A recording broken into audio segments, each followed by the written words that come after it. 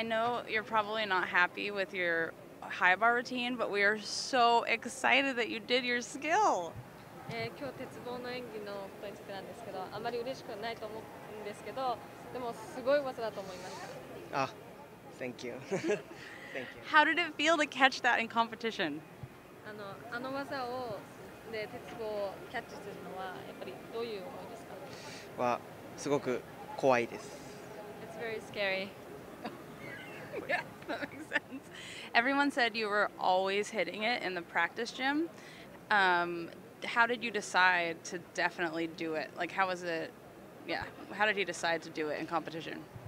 えーいつも練習中でももうトップを狙ってトップでいる選手だと聞いてるんですけど、はい。えっと、あの技を大会でやるっていうのはいつどうして決めたんですかはえーっとまあ日本代表になったので 日本代表になった以上は金メダルを取らなきゃいけないということで、まあ代表になってからあの演技をしようと決めました。 Uh, once I was elected as a, in Team Japan, well, I needed to like pull Japan up, and I needed to get a medal because I was very good on the bar, and so I decided to change my routine and to put that element. So, how will you celebrate having a named skill? Will you get a tattoo of it? Will you get it blown up and put a picture on your wall? えー自分の名前のついた技が今あるんですけど、それをどうあのお祝いしますか？やっぱそのそれこそタトゥーをつけたり、お祝いですか？お祝いうーん。難しいな。お祝い。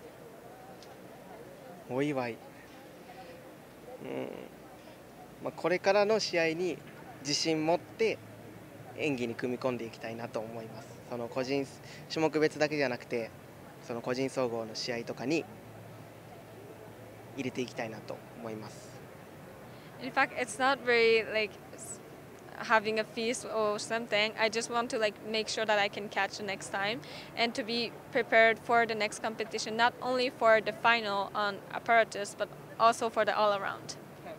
We, thank you for doing something so amazing that we thought was never even possible. It's it's an honor to watch him and be here to watch him catch that. こう人間ができないと思ってるようなことをやってくれて本当にありがとうございました。こちらこそありがとうございました.